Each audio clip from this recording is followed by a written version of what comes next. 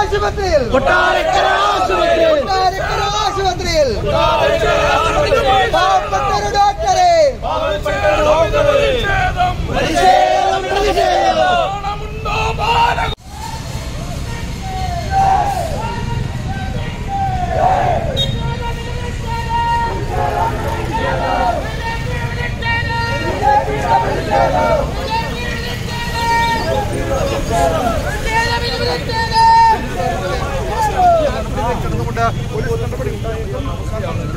ഇവിടെ ഇവിടെ ഇവിടെ മയക്കുമരുന്ന് ഇവിടുത്തെ മയക്കുമരുന്ന് സംഘടനയുടെ കേന്ദ്രമായിട്ട്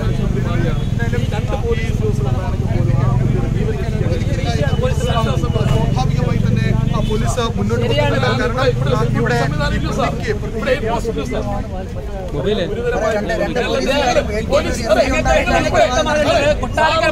പൂയപ്പള്ളി പോലീസാണ് ഒരു ഉത്തരവാദിത്വം ഞങ്ങൾക്ക് വ്യക്തമായിട്ടുള്ളത് പോലീസ് അതല്ല പൂയപ്പള്ളി എസ് എച്ച് ബിജുലാലാണെങ്കിൽ ബിജുലാലിന് സമാധാനം പറയണം. പൂയപ്പള്ളി സി നടപടി ഉണ്ടാണ് അതുകൊണ്ടാണ്